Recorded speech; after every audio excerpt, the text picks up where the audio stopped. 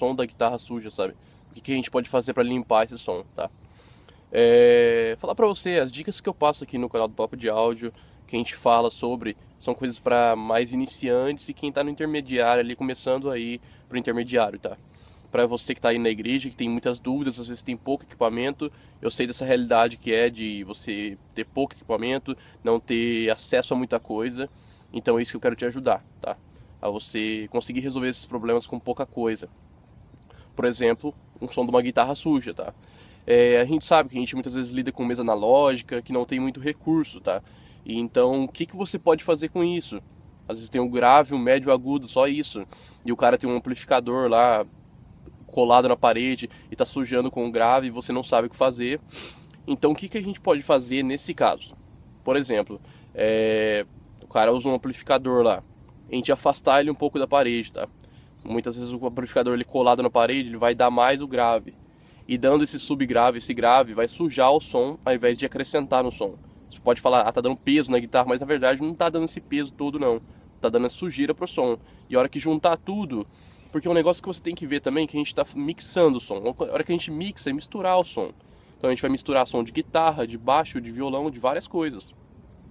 E se essa soma não ficar legal, não adianta nada. Por exemplo, a guitarra tá tocando, ah, tá top, tá legal mas vou lá e coloco um contrabaixo e um bumbo que estão ali no grave. Sujou tudo, acabou com o seu som, entendeu?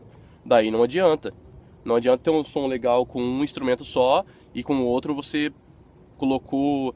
Daí a gente coloca voz, a gente coloca teclado, que teclado já é todo o espectro de frequência de 20 até 20. Daí a gente coloca lá um violão, a voz, nisso você sujou todo o som. Então a gente pode, primeiramente, tá? Uma dica aí, a gente afastar o amplificador do cara, se usa o amplificador, afasta da parede e também, se possível, controla ali o, o cara também, porque às vezes o cara vai lá no grave, soca grave no amplificador dele não prestando atenção nos outros, porque outra coisa que a gente sofre também é com espaço pequeno, muitas vezes a igreja é pequena.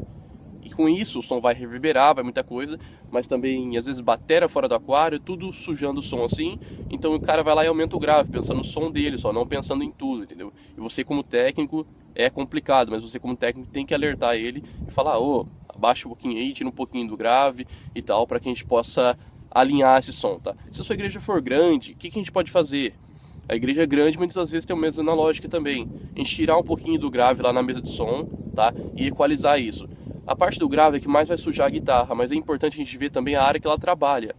A área que eu falo, por exemplo, a gente tem de 20 até 20, 20 Hz até 20 kHz. Qual o espectro de frequência que trabalha a guitarra? Aonde ela trabalha mais perto ali? Ah, a parte mais aguda dela é legal e o médio grave ali, eu tenho que ver um pouquinho ali o grave para não sujar e o médio grave dá para dar uma levantada ali, para dar um peso, para dar um corpo na guitarra. Mas a gente tem que saber a frequência que ela trabalha para dividir certinho em todo mundo, tá? Para não ficar cada um às vezes comendo frequência que é do outro.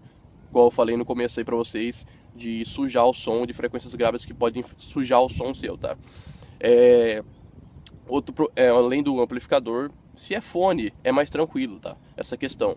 Mas também na sua mix, vamos dizer que você tem um amplificador, uma igreja grande lá, o amplificador não suja o som, mas o seu PA tá sujando, tá sujo. Então você pode limpar essa frequência também ali do grave um pouco, entendeu? O legal é que, por exemplo, a gente tem uma mesa com grave, médio e agudo, tá? Vamos colocar assim, para não para não complicar, para não falar, ah, você tem uma mesa digital e não é todo mundo que tem uma mesa digital para poder limpar esse som, para poder fazer isso, tá? Outra coisa também é você conversar com o seu guitarrista, tirar um tempo ali, equalizar o som dele, ver como é que fica melhor, se preciso, duplicar os canais para tirar um pouquinho da frequência ali que está sujando mais em um canal e no outro tira outra frequência que está sujando mais, porque com grave, médio agudo não dá para fazer muita coisa. Mas às vezes tem, tem mesas que tem o filtro do médio lá. Tem o agudo, o grave e o filtro do médio. O que, que a gente pode fazer ali também? Duplicar o canal, fazer ali no insert uma duplicação do canal e tirar um pouquinho de um e um pouquinho do outro que está sujando isso, tá? E ver também, muitas vezes o som já vem sujo da guitarra. Isso que também é importante falar com vocês. Ver com o cara o pedal que ele está usando, se a distorção não está muito suja, porque Galera, o principal é chegar ao sinal bom para vocês. O som da guitarra tem que chegar limpo pelo menos na mesa, tá? É, tipo um som limpo, um som que dá para você entender, porque às vezes tem drives que o pessoal usa, pedal de drive que suja demais a guitarra, tá? Então, conversando aí uma dica para vocês da guitarra, a gente, se a gente usar o amplificador, tá? Vou andando aqui, tô caminhando aqui falar com vocês, se a gente usar um amplificador, é, procura afastar ele da parede, tá? Tomar cuidado com os médios graves e os graves ali da guitarra, que sujam muito o som, tá? E pode te atrapalhar aí na mix, no geral. E a parte média aguda e aguda é onde a guitarra vai mais se destacar, vai mais aparecer. Bom, como tava falando pra vocês, galera, dá um espaço aí na mix, no agudo aí, no médio agudo pro, pra guitarra, pra ela poder aparecer aí e ficar legal a sua mix, tá? Você tem uma mix legal, uma mistura de todos os instrumentos bacana desse jeito. Bom, galera, é isso aí então. Hoje eu fico por aqui. E sabe que você como técnico aí tem que ajudar mesmo esse guitarrista a resolver o som aí.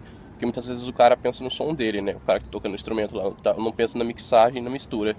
E você como técnico vai ter que ajudar aí, tá? Ó, mandem suas sugestões, suas dicas aí, o que vocês acharam desse vídeo, que é mais um papo de áudio mesmo, né? Como o canal mesmo fala. A gente tá mais conversando sobre uma guitarra suja, como você pode limpar e dicas que você pode é, aplicar na sua igreja, tá?